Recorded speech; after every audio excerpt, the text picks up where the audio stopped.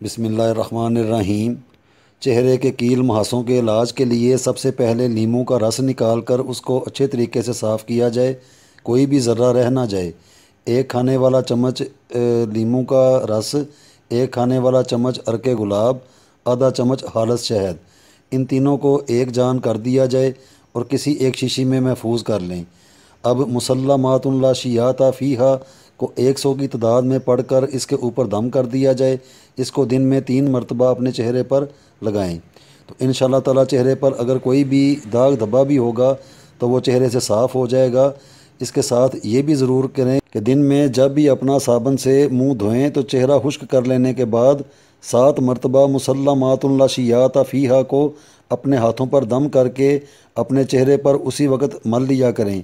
चेहरा बारौनक हो जाएगा और जाजिब नज़र भी।